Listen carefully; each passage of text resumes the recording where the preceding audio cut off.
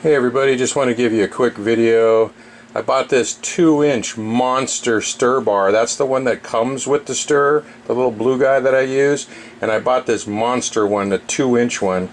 And I'm discovering it's got some limitations.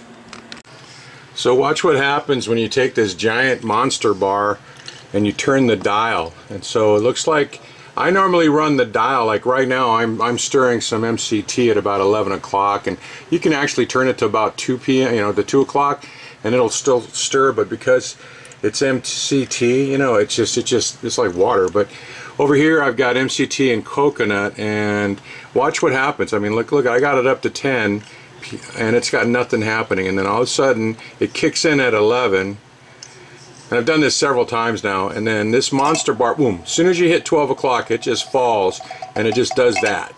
And so then the only thing that's really interesting about this giant bar is that it only works at a somewhat like medium speed.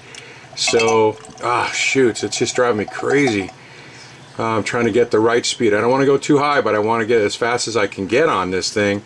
But that's about it for that monster bar. And then you can see right here, this is about, I'd say this is like 80% caprylic and about 20% uh, regular coconut. And so, oh, shoots, you see that? It just flipped over again.